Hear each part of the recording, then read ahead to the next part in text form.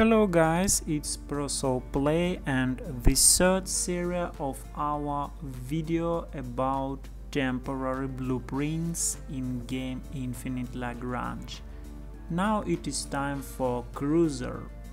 Star Sweeper Ion Cannon Cruiser. Well, it looks beautiful and dangerous one. I hope you see it many times during your battle with pirates. So I have 50 touch points, maximum level. Let's see on figures. First of all, damage is very low, only 10,000.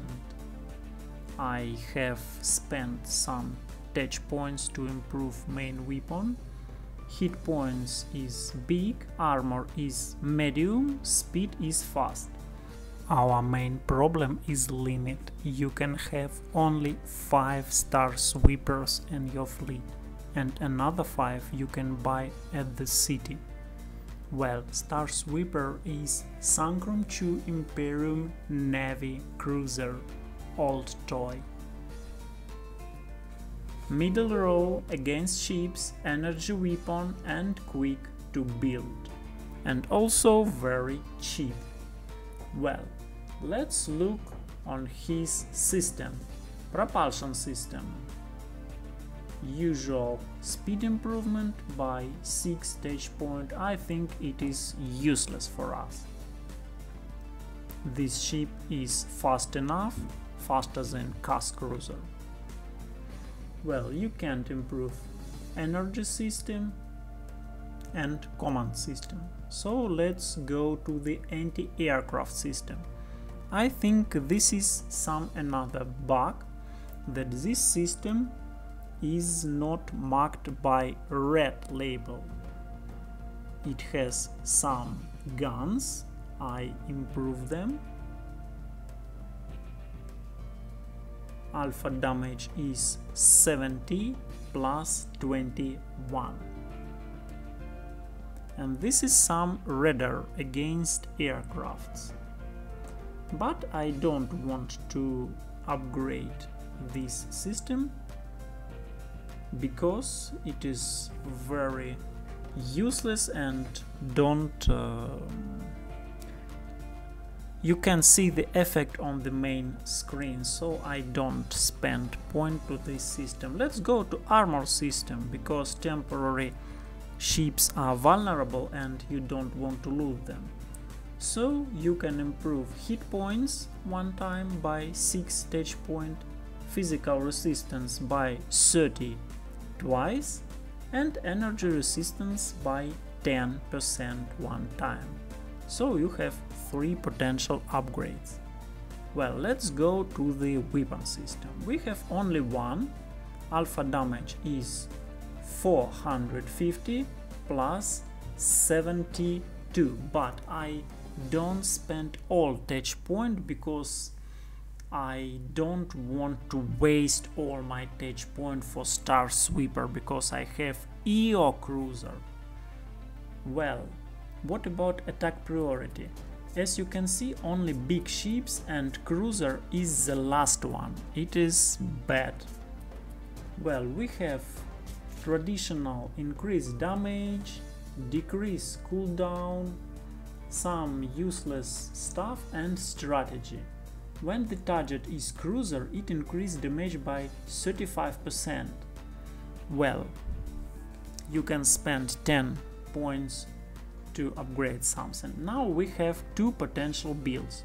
First of all, we improve hit points and armor. Let's see. Now it is good cruiser. And then we can either use strategy for 20 touch points and maybe some one other upgrade or you can avoid strategy and simple use three different upgrades. For example, I prefer two cooldown decreasing and one damage increasing. So let's see the result. So we have not so much damage as we want, less than 1000 per one fleet point. And uh, something about 3000 hit points per one fleet point. Well, as you remember, we can have only 5 Star Sweeper in our fleet. Well, let's see to the EO cruiser and its damage is more than 1000 per one fleet point. So Star Sweeper is not as good as EO cruiser.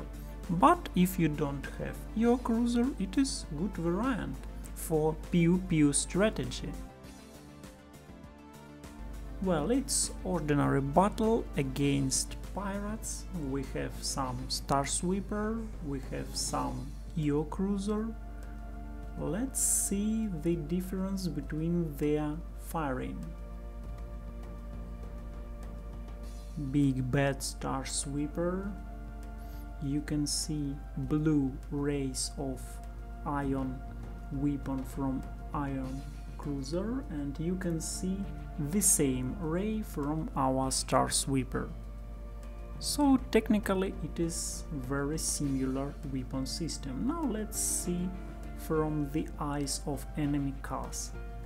Enemy cars is beaten by energy weapons, so its heavy armor is useless. And it's vaporized now.